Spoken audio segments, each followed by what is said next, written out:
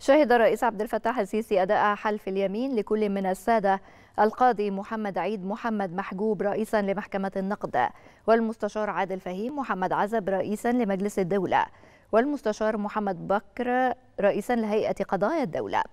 وصرح المتحدث الرسمي باسم رئاسة الجمهورية بأن الرئيس السيسي أكد دور محكمة النقد ومجلس الدولة وهيئة قضايا الدولة في إرساء العدالة مشددا على مواصلة تلك المؤسسات والهيئات القضائية الشامخة لأداء مهامها على الوجه الأكمل بما يسهم في الحفاظ على حقوق المواطنين وصون مصالح الوطن.